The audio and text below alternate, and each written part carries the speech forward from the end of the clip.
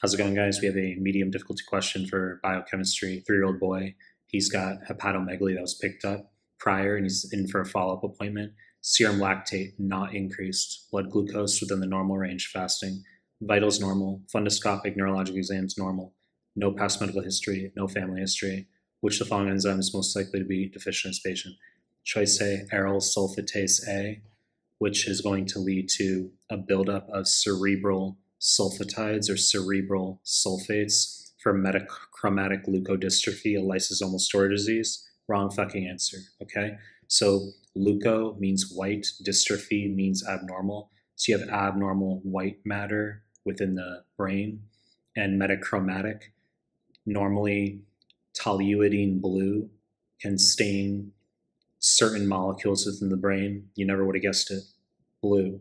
But in metachromatic leukodystrophy, the sulfatides stain yellow instead. That's called metachromasia. So that's how it gets the name. But it's a neurodegenerative lysosomal storage disease. Wrong fucking answer.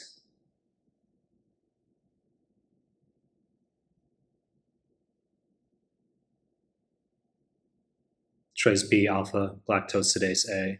This refers to Fabry disease, causes a buildup of ceramide trihexoside, wrong fucking answer.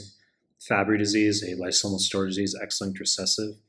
It's going to present with cardiac and renal defects, burning feet syndrome, angiokeratomas, which are red slash violaceous papules on the skin. It's really not dramatic, okay? If they ask you choices A or B on USMLE, they will basically tell you the deficient enzyme in the stem, or they will tell you the buildup product. And you'll just know it's the diagnosis right away. Very, very, very rare that they would give you the presentation and make it very difficult where you're supposed to guess pretty much. They'll tell you the deficient enzyme or the buildup product. Choice B, wrong fucking answer. Choice C, alpha 1 4 glucosidase deficiency, which refers to glycogen storage disease type 2 Pompe syndrome, wrong fucking answer. The reason it's wrong is because this will present on USMLE as a sick kid with hepatomegaly and cardiomyopathy.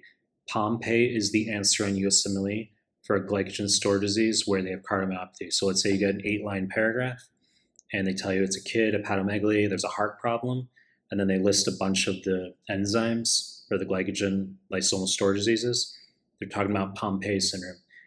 USMLE also wants you to know that the glycogen storage of these enzymes are located within the cytosol. However, in Pompe, it's located within the lysosome. Alpha 1 4 glucosidase is AKA lysosomal acid maltase. It's not a lysosomal storage disease, but the location for this enzyme is still within the lysosome. Wrong fucking answer.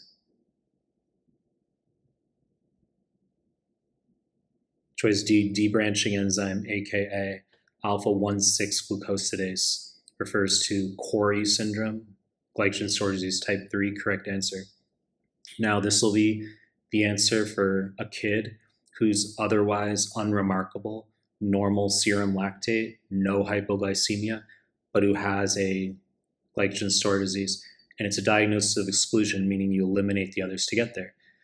You could eliminate von Gierke type 1, for instance, because that's going to be a sick kid who has severe lactic acidosis and hypoglycemia, hepatosplenomegaly. Our serum lactate is normal here. There's no hypoglycemia.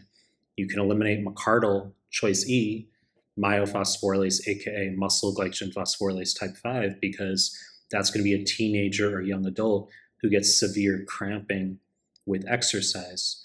They do have normal lactate in glycogen storage disease type 5, McArdle. But once again, it's a teenager, young adult who has severe cramping with exercise, which we don't have here. So you eliminate. You say it's clearly not Pompe, no cardiomyopathy. It's clearly not von Gierke, a sick kid with lactic acidosis, hypoglycemia. It's clearly not a teenager, young adult with cramping after exercise. So we're left with Cori, and that's how you arrive at debranching. Now, debranching, when you have your glycogen tree, the structure of it, and you have all these branches sticking off. The one four glucosidase is how you shorten the length of those branches. And then at the very end, when you want to chop the final piece of that branch off, which is called a limit dextrin, you need 1 6 glucosidase, which is where uh, Cori, which is where it gets the name debranching enzyme the very end.